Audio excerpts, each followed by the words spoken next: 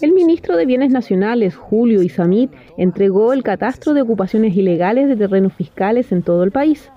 un registro que reflejó la realidad actual en la región de Tarapacá, donde catastraron más de 400 hectáreas de tomas de terrenos fiscales. En la región de Tarapacá hemos identificado 412 ocupaciones ilegales en terrenos fiscales y esto representa un 2,9% del total de ocupaciones a nivel nacional. Tal como lo mencionó el ministro, existen más de 14.000 ocupaciones ilegales a nivel nacional, lo que significa un aumento del 2,1% en comparación a las cifras de ocupaciones catastradas a diciembre de 2019, con 13.957 casos. Hemos dado a conocer el catastro de ocupaciones ilegales en terrenos fiscales, que al día de hoy se elevan a 14.256 en todo el país y que significa un aumento de 648 desde diciembre del año pasado. En la región de Tarapacá, hace dos meses se impidió la toma de 3 hectáreas al sur de Guara y 85,5 hectáreas en Bajo Comiña, Pica y en el poblado andino de Pozolmonte.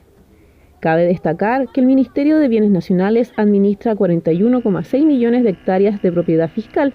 lo que equivale al 55,1% del territorio nacional, y en la región de Tarapacá administra el 90%.